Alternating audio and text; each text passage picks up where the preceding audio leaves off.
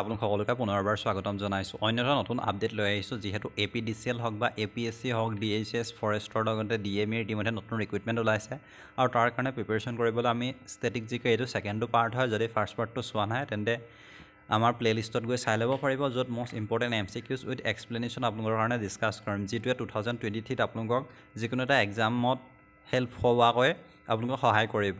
যিহেতু মই এনেদৰেই নিজেই মই প্ৰিপেৰেশ্যন কৰি পিনি অসম ষ্টেটৰ পুলিচৰ এক্সাম ক্ৰেক কৰিছোঁ চ' আপোনালোকক যিমান পাৰে আপোনালোকক দিবলৈ চেষ্টা কৰিম।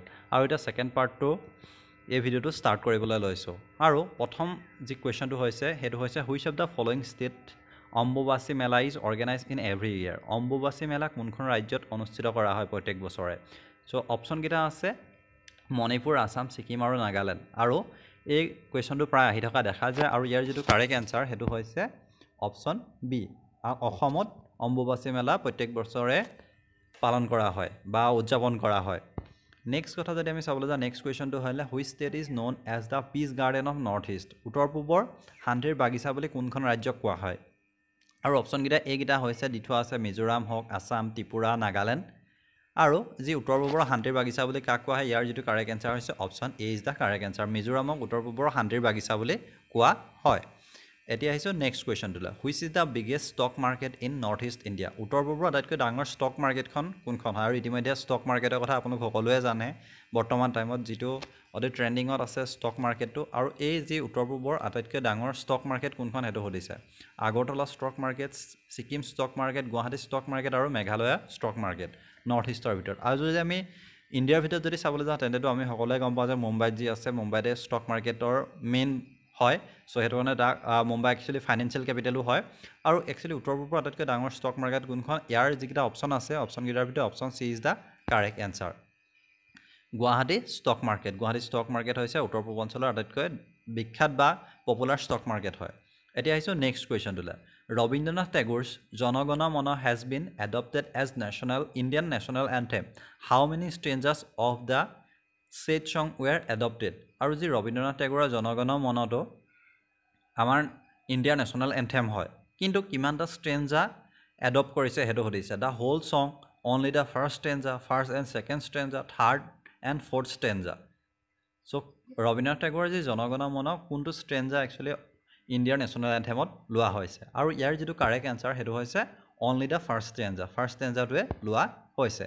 নেক্সট কুৱেশ্যনটো আহিলে the popular dance of Gujarat is তলৰ কোনটো গুজৰাটৰ বিখ্যাত নৃত্য হয়? দাণ্ডিয়া কথক কথকলি ভাৰত নৃত্য আৰু ইয়াৰ ভিতৰত যদি আমি চাবলৈ যাওঁ যে কথক কথকলি আৰু ভাৰত নাট্যম এইকেইটা কি ডান্স হয় আমি সকলোৱে গম পাওঁ? চ' ইয়াৰ যিটো কাৰেক্ট এনচাৰ সেইটো হৈছে দাণ্ডিয়া। আৰু কথক কথকলি ভাৰত নাট্যম বা আমাৰ যদি অসমত চাওঁ সত্ৰীয়া নৃত্য চ' কিছুমান নৃত্যৰ কথা মোহিনী অত্যম হয়। চ' এইখিনিতো নপৰে। একচুৱেলি আৰু এই যিটো দাণ্ডিয়াটো হৈছে গুজৰাটৰ এটা বিখ্যাত নৃত্য। নেক্সট কুৱেশ্যন যদি চাওঁ the court language of the Mughal was মোগলসকলৰ প্ৰশাসনিক ভাষা কি আছিল? আৰবিক হিন্দী উৰ্দু নে পাৰ্চিয়ান যি মোগলসকলৰ যি তেওঁলোকৰ কোৰ্টত কোনখিনি ভাষা ইউজ হৈছিলে সেইটো হৈছে আৰু ইয়াৰ যিটো correct answer option D is the correct answer পাৰ্চিয়ানটো আছিলে মোগলসকলৰ যি প্ৰশাসনিক ভাষা। এতিয়া আহিছোঁ next কুৱেশ্যনটোলৈ in which Indian religion there are twenty twenty four tirthankar কোনটো ধৰ্মত চৌবিছজন তীৰ্থাংকৰ আছে? আমি সকলোৱে জানো যে তীৰ্থাংকৰ আছে প্ৰথমজন তীৰ্থাংকৰ ঋষভ হয়। তেনেদৰে চৌবিছজন যি তীৰ্থাংকৰ আছিলে তেওঁতো কোনটো ৰিলিজনৰ হয় সেইটো হৈছে? শিখসকলৰ আছিলেনে জৈনিজিম আছিলেনে হিন্দুজিমৰ আছিলেনে নে বুদ্ধিজিমৰ আছিলে? চ' আমি জানো যে ইয়াৰ যিটো কাৰেক্ট এনচাৰ সেইটো হৈছে জেনিজিম। জেনিজিমসকলৰ আছিলে চৌবিছজন তীৰ্থাংকৰ আৰু প্ৰথমজন ঋষভ আছিলে আৰু যি চৌবিছ নম্বৰজন কোন আছিলে? তেওঁ আছিলে মহাভীৰা। চ' তেওঁৰ কথা সকলোৱে আমি পাই থাকোঁ। এতিয়া আহিছোঁ নেক্সট কুৱেশ্যনটোলৈ নেক্সট কুৱেশ্যনটো হ'ল Panchratna is originally written by পঞ্চৰত্নখন কোনে লিখিছিলে? অপশ্যনকেইটা আছে বিষ্ণু শৰ্মা বিষ্ণুগুপ্ত কৌটিল্য নে পুষ্যামিত্ৰ বিষ্ণু পঞ্চৰত্নখনৰ কথা ইতিমধ্যে প্ৰায় ইণ্ডিয়ান হিষ্ট্ৰী এইটো এটা ইম্পৰ্টেণ্ট কুৱেশ্যনছ হয় আহি থকা দেখাই যায় আৰু ইয়াৰ যিটো কাৰেক্ট এনচাৰ সেইটো হৈছে বিষ্ণুগুপ্ত। বিষ্ণুগুপ্তই লিখিছিলে অঁ sorry Vishnu Sharma Vishnu Sharma Panchratna is original written by Vishnu Sharma.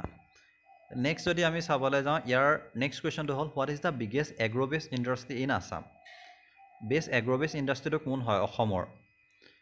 Oil industry jute industry software industry নে টি ইণ্ডাষ্ট্ৰি আৰু ইয়াত ইয়াৰ যিটো কাৰেক্ট এনচাৰ সেইটো হৈছে option D is the correct answer tea industry চাহ উদ্যোগটো হৈছে এগ্ৰ'বেছ ইণ্ডাষ্ট্ৰি হয়। যিহেতু অসমত মেজৰিটি চাহ পোৱা যায় সেইটো আমি সকলোৱে গম পাওঁ। নেক্সট কুৱেশ্যনটোলৈ আহিলোঁ who was the first justice of supreme court from Assam supreme কোৰ্টৰ first justice কোন আছিলে? অসমৰ হয়। ইয়াৰ যিকেইটা অপশ্যনকেইটা সেইকেইটা দি থোৱা আছে। হলিৰাম ডেকা হওক বা এছ এন ফুকন ডম্বৰধৰ পাঠক পাৰ্বতী কুমাৰ গোস্বামী।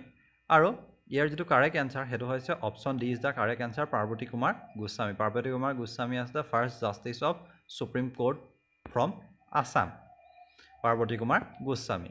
আৰু আজি পাৰ্টটোত এইকেইটা কুৱেশ্যনেই আছিলে। আশা কৰিছোঁ ভিডিঅ'টো আপোনালোকৰ কাৰণে হেল্পফুল হ'ল। প্ৰিভিয়াছ ভিডিঅ' চাবলৈ আপোনালোকে প্লে'লিষ্টত চাব পাৰে আৰু অসম ষ্টেটৰ যিকোনো এক্সাম বা এক্সাম প্ৰিপেৰেশ্যনৰ কাৰণে যদি আপুনি প্ৰিপেৰেশ্যন কৰি আছে তেন্তে এই চেনেলটো আপোনালোকক হেল্পফুল কৰিব। জব আপডেটছেই হওক বা বেলেগ ধৰণৰ যিকোনো আপডেটছৰ বাবে আপোনালোকে এই চেনেলটো ছাবস্ক্ৰাইব কৰিব পাৰে। ইমানেই আছিলে। ধন্যবাদ।